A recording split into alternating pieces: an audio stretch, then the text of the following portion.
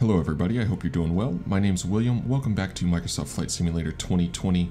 Today we're picking back up in the Diamond DA62 for another FSEconomy flight. We have five passengers. We're going to be taken from Taranji to Amara, Amarama. Um, I don't know, I'm probably butchering both of those. Either way, uh, the flight should make us about $5,000 uh, to carry these five people to and from uh, both of these places. So made a bit of a custom flight plan to keep us clear of the terrain. I hope you all enjoy the flight. Let's get into it. Welcome on board the Diamond DA62. We're on the ramp here where we left off. Uh, loading up the people from the uh, shed over there. You can see our aircraft here is showing on the ground available. So we're going to go ahead and go through, go to action and start our flight. Load up those five passengers and get underway. So with them getting all on board and everything, we're going to go ahead and start getting the aircraft ready for engine start. So first, let's just come through, make sure our parking brake is set, fuel is set to on. All right, so we'll get our battery on. Gonna get our strobe light on. Let's wait for these screens to come up real quick. So we'll just double check. We have good fuel, everything. There we go. Okay.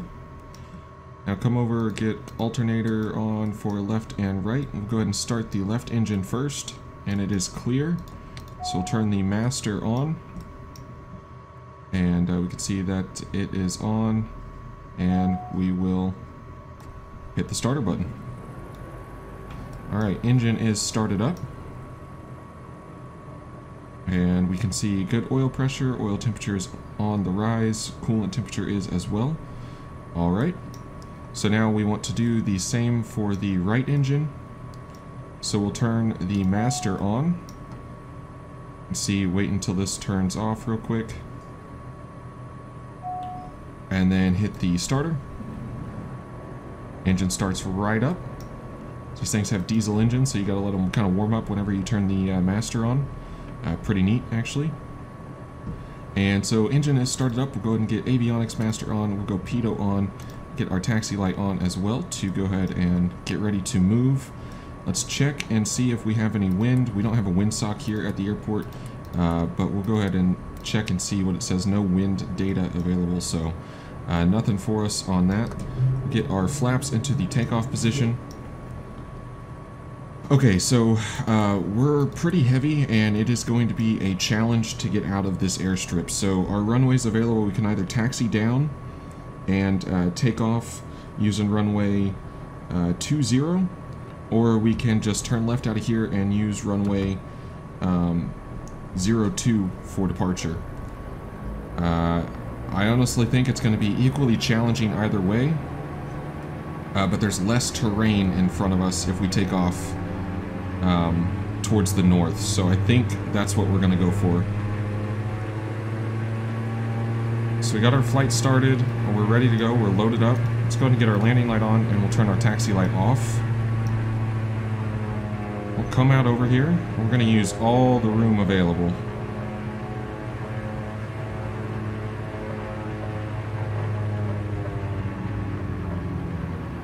Alright, so we're to just make a right and line ourselves up.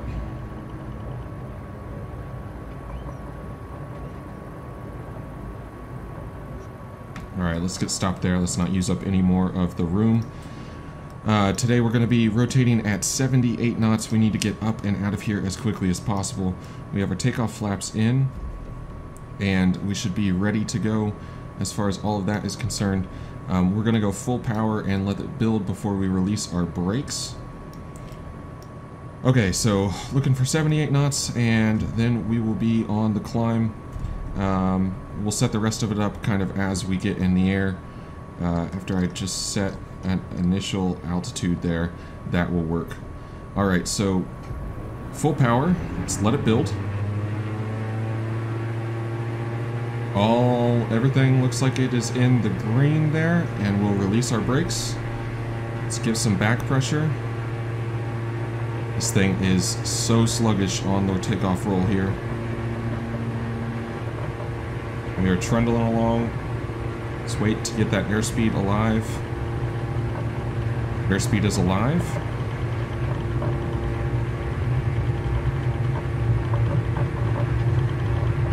We have some big trees to clear too at the end. Alright, nose wheel is up. There's 50 knots.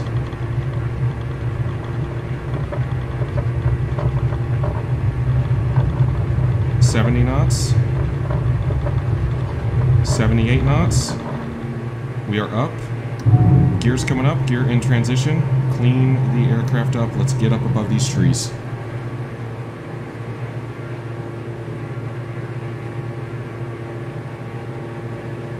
Alright, built the airspeed so we could kind of zoom it up there at the last second. We can pitch down now, we're clear of the trees.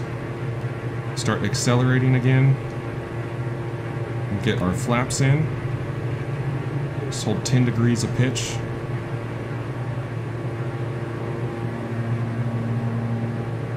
I'm just barely scraping out of there.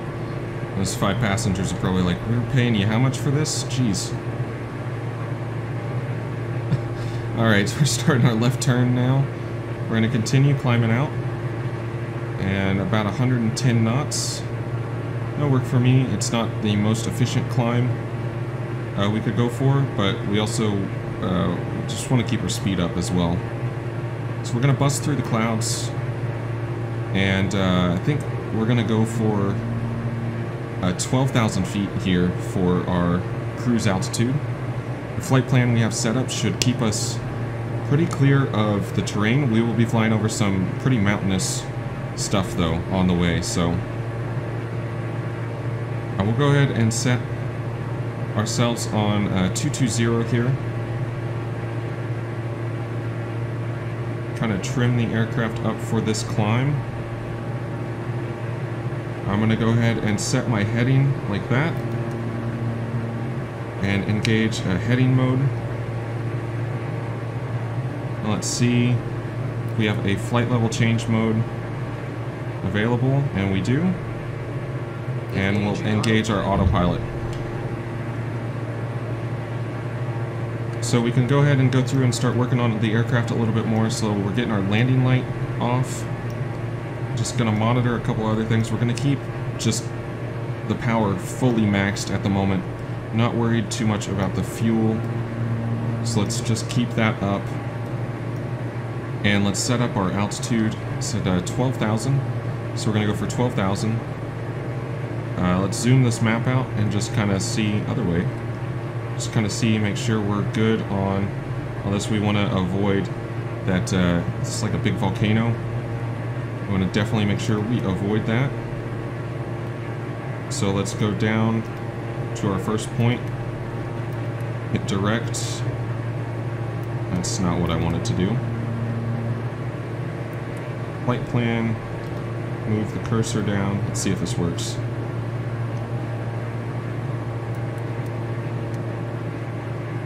Just want to hit direct to and get it to go direct to, but it's not going to work. Yeah, I'd have to manually punch it, punch it in. Uh, that's very annoying. Okay, well, never mind. Uh, we'll just re-intercept that course as we go through. Sorry about that I was kind of expecting it to work that way, but it doesn't. We're going through the cloud layer. Hopefully it'll smoothen out once we kind of get up through it. Keeping it on flight level change mode here. It's holding rock steady basically on 116 knots. It's great to see.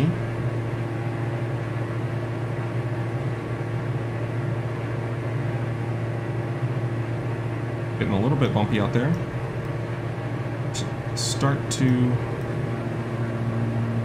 should start to get a little bit nicer as we continue climbing up. will go ahead and bring the heading left to 210 and we'll start to kind of intercept our, our GPS course uh, a little bit a little bit better than we would if we just threw it onto nav mode.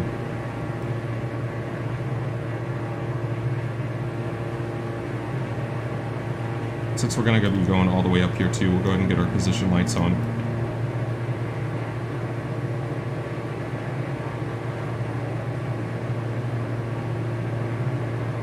A whole bunch of cloud cover.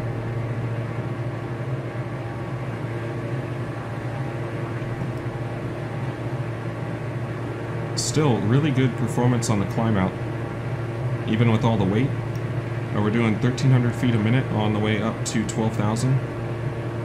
I guess that's kind of what a twin gets you, but still. It's nice to see.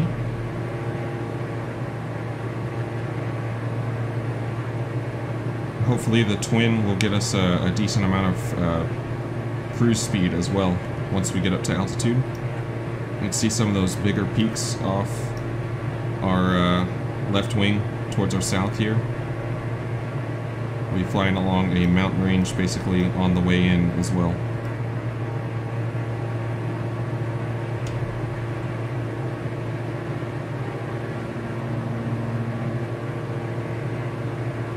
We uh, some pretty cold air, so with the heat coming on up in the cabin, keep everyone nice and comfortable.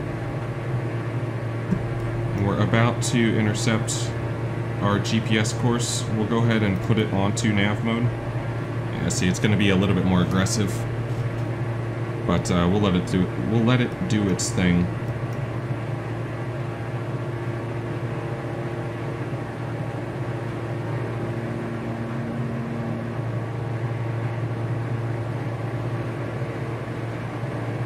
So you can get an idea of what the uh, flight looks like from the screen in here. This is basically what we can see. I uh, put in this first fix so we could avoid the volcano, basically. Just a good routing around it. And then um, uh, start getting us down on course. And like I said, avoiding the uh, large terrain features, basically, and, and, just kind of paralleling them down towards um, towards our destination. We're going into another grass strip today. That is uh, really cool. See that lake up there? Just going off in front of the uh, left wing.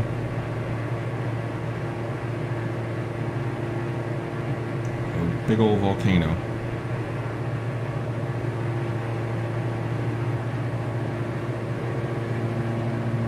Just about 2,000 feet to go on the climb.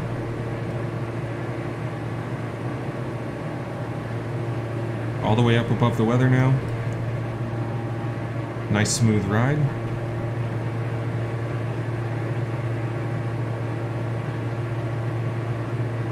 Go ahead and come back on the power just a little bit. I could have done it a little bit earlier, but we'll bring it back sure everything's kind of staying in a decent range.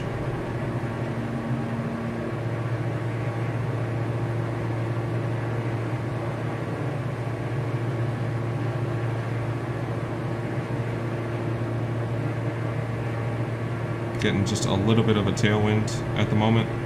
Not a whole lot of wind data at the, as it seems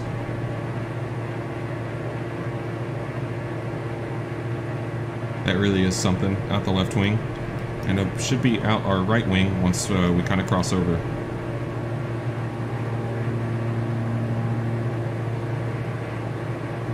I do not regret buying this aircraft in this area. I just think it's funny that it uh, means that we're going to be flying into and out of a whole bunch of dirt and grass runways and stuff.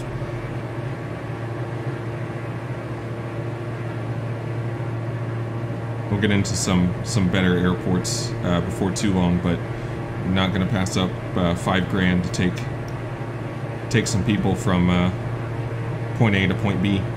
It's not that long of a flight, so 500 feet to go to the top of our climb. We'll level out at 12,000. We could go higher in the aircraft, but uh, 12,000 sounds good.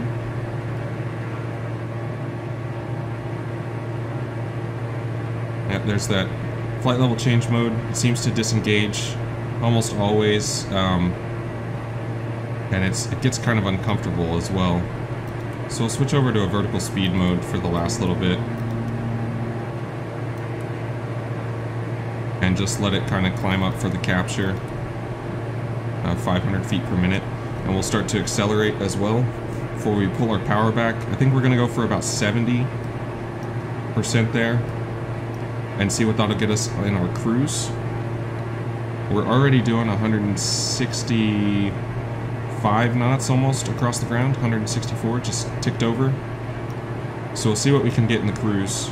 We're in really smooth air, so we can get up into our yellow arc if I need to. I think I accidentally tapped my trim there. I don't think that was the plane's fault. Just want to make sure all the passengers are awake back there. I know I can ramble on, put them to sleep. So we're going to keep 90% here until uh, we get our speed up a little bit more. We'll see what we can do. It's first time really getting to uh, stretch this plane's legs, so not sure how it's going to perform in the cruise. Just 9.5 gallons per hour at 12,000 feet and 90% on the power. Uh, doing 185 knots across the ground. That's not bad at all. But we'll go ahead and pull the power back. Let's see if we can hold 180 knots across the ground at uh, 8 gallons an hour.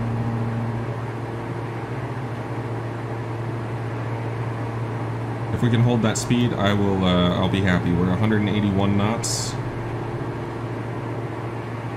We do have a, a little bit of help from a tailwind, but it looks like it's gonna hold there, just about. Alright, so we're in the cruise now. Let's take in the sights, kick back and enjoy.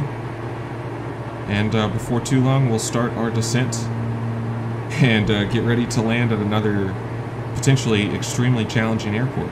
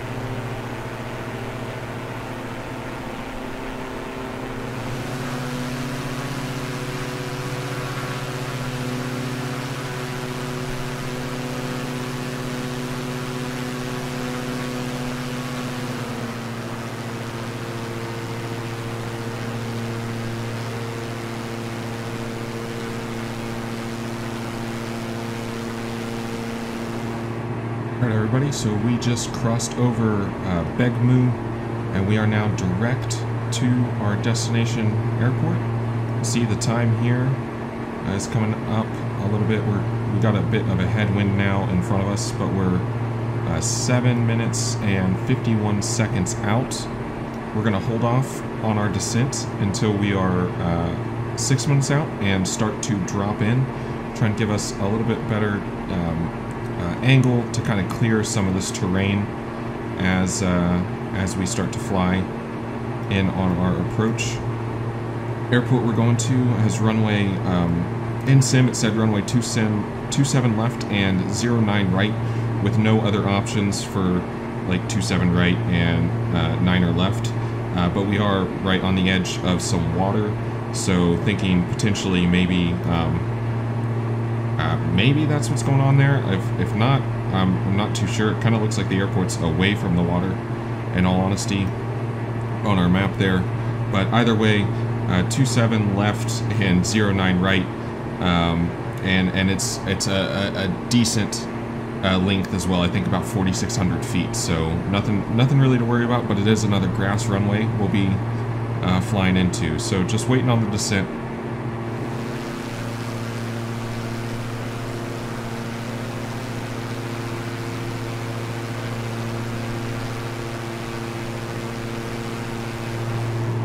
Alright, so we're actually going to hold off a little bit more on our descent here. Uh, we're 15 miles from the field. Uh, we're still at 12,000 feet. Um, it's kind of crazy, but uh, we got to get over this terrain and clear it. Um, we're going to hold off here for just another like 30 seconds or so, uh, just to get a little bit closer to this terrain, and then start our way down. Doesn't sound like a lot, but I do want to get uh, uh, stay nice and clear of it on our uh, path down. So we're going to set 3,000 for the altitude initially, and uh, just drop in over that terrain. See the really uh, this look like quite a, quite an aggressive mountain range there off our right side. Some nice mountains as well off towards our left. Kind of this little valley uh, right in front of us. So uh, we have waited long enough. We'll go ahead and pull the power back and start our way down.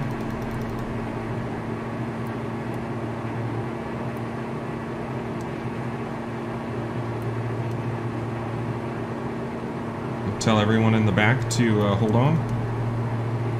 And this is the fun part. So let's just keep our speed in the, uh, try and keep our speed in the green range. We'll probably get some bumpy air coming over the um, top of the ridges here.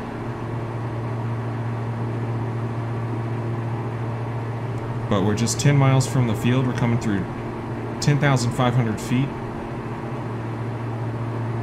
could have flown around the mountains, but we have really good visibility around here, so um, we'll just uh, just cruise over it basically um, and, and, maintain a, a, good distance above them, hopefully. So we're going to actually decrease our descent a little bit uh, just to make sure we are actually staying uh, well over the top of the ridges below us. We have runway 27 left and 09 right available for us at the field. Um, we're getting a wind almost directly out of the west for the last portion of our flight here. So we're going to plan for 27. It says 27 left and 27, or I'm sorry, 27 left and 0-9 right, but uh, there was no 27 right uh, 09er left available. So not really sure what's going on with that, but um, it is what it is. It's seven miles now. Starting to look for the field. Should be off in front of us somewhere. That may be it over there.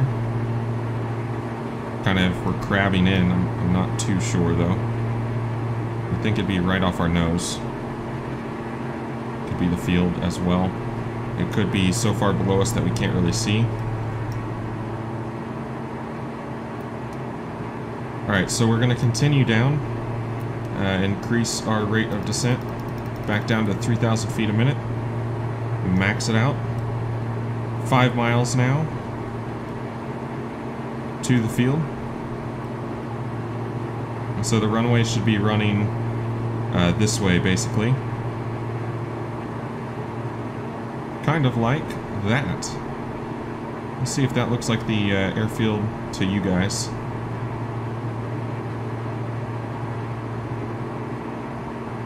Four miles off the nose.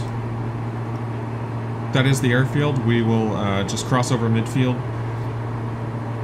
Actually, if that is the airfield, we'll just turn outbound uh, flight 270 and then um, kind of come back in after flying a full pattern. We got pretty smooth air, so we're going to keep it in the yellow range and just absolutely blast down on the descent, dropping in through that terrain. Two and a half miles now off our nose. Almost to 3,000 feet. I am definitely thinking that is the runway down there.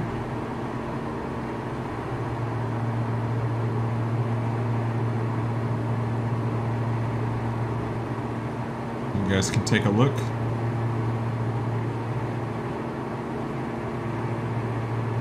Alright, there is 3,000 feet. We're going to continue down. But pull back a little bit. Let's turn and fly directly 270.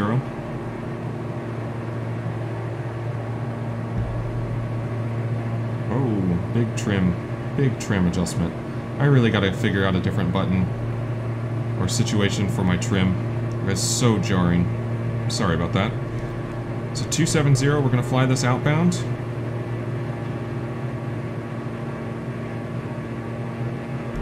Come up on the power.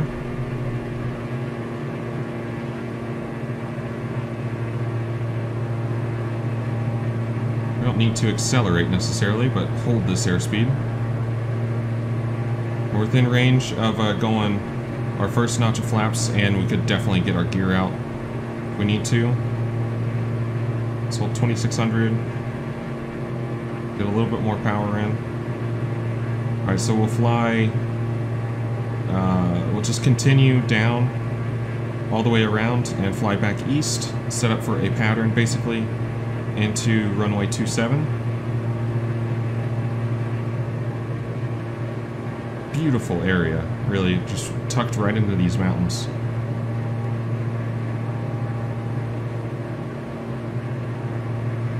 You can see the field there off our right wing. That's where we're going to be coming into. Once again, one of those places I would have never, ever, ever flown to. It's a bit of a long flight, but uh, they're paying good money for it, so. Gotta keep in mind where the runway is basically right at the base of those mountains. Uh, the wind is coming kind of through the valley. It's directly behind us right now, but still, I uh, want to keep that in mind. And since we're about a beam right now, Let's go ahead and get the gear down. It's in transition. Alright, three green lights. Gear is down. We'll go takeoff flaps. We're below 136 knots. Let's get below 119, so we're ready for landing flaps. And let's start to descend a little bit more.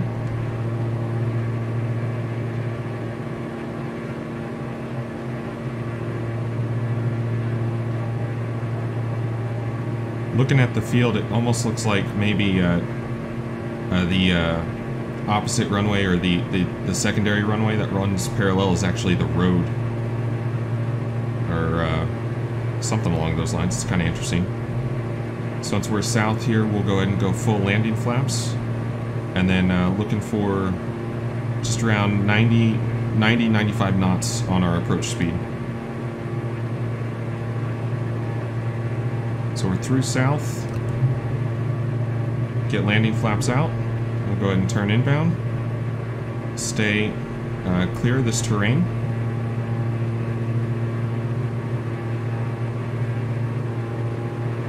Let's get some more power in. Set our speed. Alright, so we're lining up for the runway. We need to sit up in our seats so we can actually see over the nose of this thing. Got about four knots on the nose.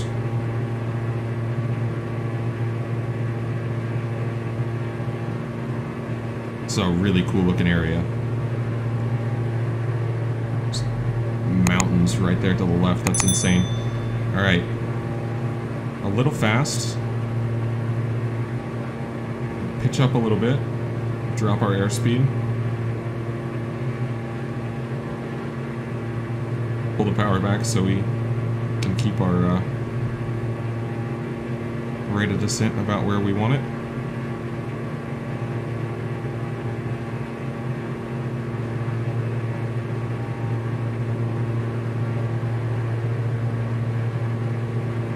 Alright, and start pulling the power back.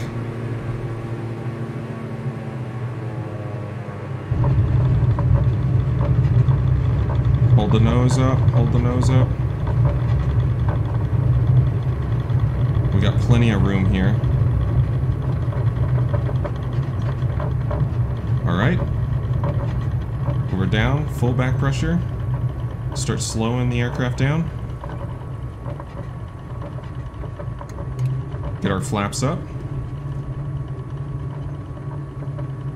And uh, we will taxi up here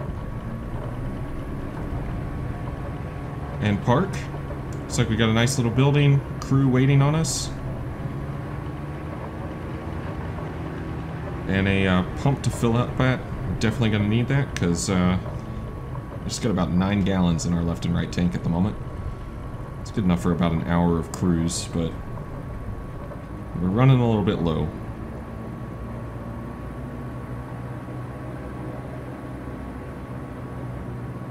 Alright, so just taxi up here and get ourselves parked. And we will complete our flight. I hope you all enjoyed. That was a really cool place to fly into. It's a longer flight. But fun nevertheless. Like I said, I hope you all enjoyed. If you did, make sure to like the video, subscribe if you want to see more. And, uh, yeah. Definitely be doing more of this. Let me know, for sure, give a comment or uh, send me a message or something if you want to get involved with uh, FSEconomy. Just setting our brake there. And it is going to complete our flight. So I accidentally clicked it before, but you can see now our aircraft is uh, on the ground at Amara Amara. We've been paid for uh, getting them here, so let's go ahead and shut the aircraft down, go through all of that to get it turned off. We get our avionics master off, and we can come up here and right engine master. Engine is coming down. Fuel to cut off, so we open that guard. Alright, fuel is cut off. We'll do the same for left. And uh, Flight Sim's going to say, thank you, you've completed your flight. Thank you, Flight Sim. Alright, left engine is turned off. Open the guard and put it into cutoff. We're to get our strobe light off and battery off. So that is us shut down at the ground. And wait and see what uh, what kind of job we can pick up to we can pick up for the aircraft next, and hopefully um, get into some more uh, proper airports. It's been fun flying into these kind of airports, but I do want to try and get um, a little bit more kind of proper uh, actual uh, paved runways and everything in this plane. Um, not that this hasn't been fun, but let me know if you've been enjoying kind of bush flying the diamond around. Uh, it has been entertaining for me, but um, anyways, thank you so much for flying along with me today. I hope you all enjoyed, and uh, hopefully I'll see you on the next one. Until then, bye-bye.